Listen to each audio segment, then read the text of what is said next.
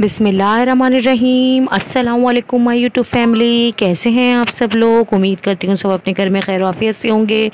Welcome to my channel, Ibrahim mama's creation.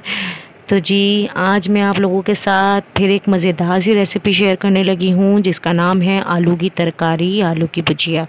वैसे मैं जो बोलती हूँ, मेरे घर में जो बोला जाता है, इसको आलू की हिंदू भुजिया बोला जाता है।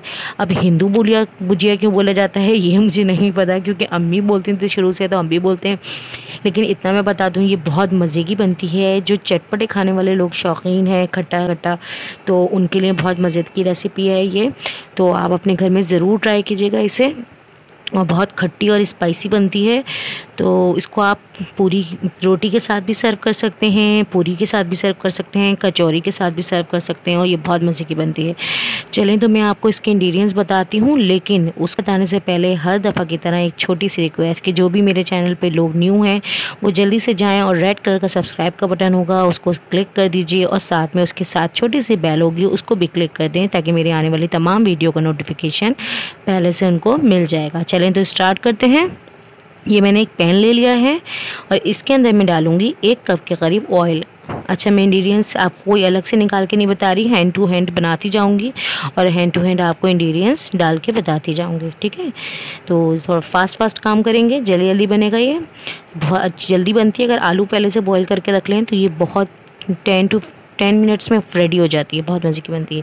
ये एक प्याज ले ली थी जिसको मैंने एक दरमियाने साइज़ की प्याज ले ली थी जिसको बारीक कटिंग कर लिया था और इसको मैंने ऑयल के अंदर डाल दिया है, गर्म होने के लिए और इसको मैं ब्राउन होने तक पकाऊँगी।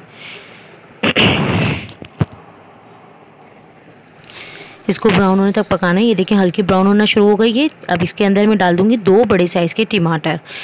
अच्छे बड़े साइज़ के टमाटर लिए थे, जिसको मैंने बारीक कटिंग कर लिया है और उसको मैंने डाल दिया है। ये जितने भी इंग्रीडियंट्स मैं बता रही हूँ, ये हाफ़ के जी ऑयल आलू के लिए बता रही हूँ क्योंकि मैंने हाफ़ के जी आलू पहले से बॉयल करके और क्यूब्स की शेप में उसको कटिंग करके रख लिया था, जैसे मैं आपको आगे दिखाऊँगी। उसको मैं अच्छे से टमाटर को पकाऊँगी, लेकिन इससे पहले मैं अदरक और लहसुन का पेस्ट डाल देती हूँ। एक एक खाने का चमचा, एक खाने का चमचा अदरक का पेस्ट और एक खाने का चमचा लहसुन का पेस्ट।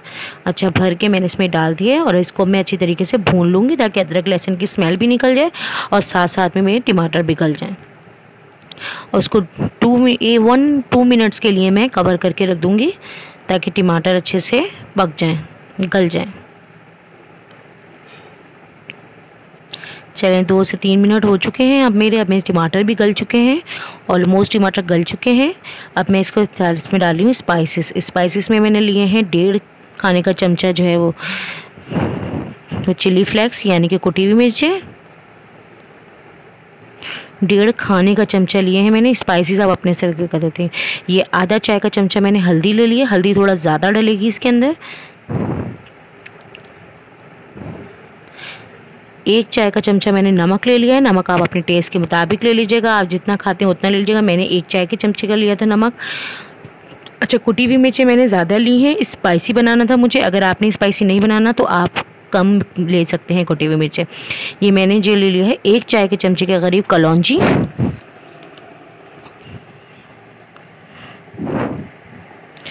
अब मैं ले रही हूँ एक चाय के चमचे के करीब ज़ीरा। ये स्पाइसेस की क्वांटिटी आप बढ़ा भी सकते हैं और ये मैंने ले ली है राई।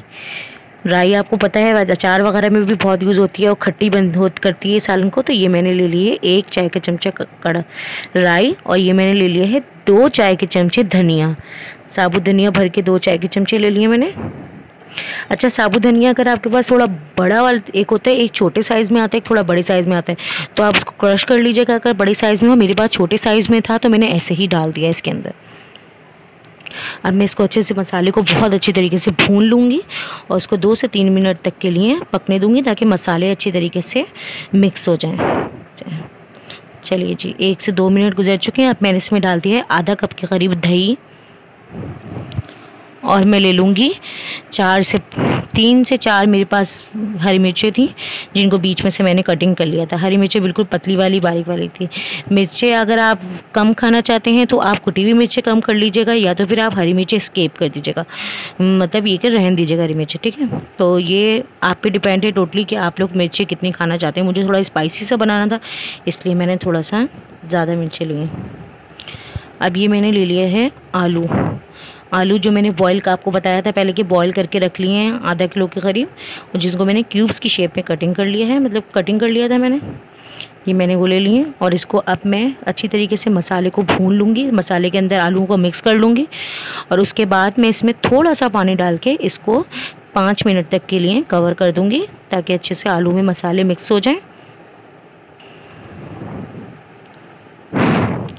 अब मैंने इसको, ये देखिए अब ये मैंने पानी डाल के छोड़ दिया था फाइव मिनट के लिए। अब ये देखें ऑलमोस्ट ऑयल ऊपर आने लगा है और ये भुजिया मेरी जो है आलू की तरकारी जो रेडी होने लगी अब मैं इसके अंदर डालूँगी इमली। इमली मैंने डाली है मैंने ज़्यादा ली है, मैंने तीन खाने के चमचे करके करीब भर के इमली ली थी। अगर आप लोगों के टेस्ट पर डिपेंड करता है, अगर आप लोगों को कम खट्टा पसंद हो तो आप कम ले लीजिएगा, ज़्यादा हो तो ज़्यादा डाल लीजिएगा, आप पे डिपेंड करता है ये। चलिए जी तो अब इसको मैंने हरा धनिया से गार्निश कर दिया है और ये मेरी तरकारी हो गई है रेडी अच्छा इसमें मैंने ऑयल कम रखा था, थोड़ा ऑयल हमारे यहाँ थोड़ा कम खाया जाता है तो मैंने ऑयल कम रखा था। अगर आप चाहें तो आप ज़्यादा ऑयल डाल लीजिएगा। मैं तो इसलिए मेरा ऑयल ज़्यादा ऊपर आया नहीं है, बिल्कुल खुश खुश सी बनी है। तो अब ये मेरी हो गई ही तरकारी रेडी और उसको मैंने हरा धनिया से गार्निश कर दिया है। मेरी रेसिपी अगर आपको कैसी लगी हो, अच्छी लगी हो तो मुझे कमेंट्स बॉक्स में फ़ीडबैक ज़रूर दीजिएगा, क्योंकि आप लोग जब फ़ीडबैक्स आते हैं तो हमें बहुत अच्छा लगता है और हौसला अफजाई होती है और हमें फिर और मज़े की रेसिपी शेयर करने का दिल चाहता है। तो चलें, आप लोग मुझे फ़ीडबैक ज़रूर दीजिएगा और मुझे, मेरी वीडियो को लाइक शेयर और सब्सक्राइब मेरे चैनल को करना मत भूलिएगा। फिर मिलते हैं इन किसी नई वीडियो के साथ, किसी नई रेसिपी के साथ। अल्लाह हाफिज़।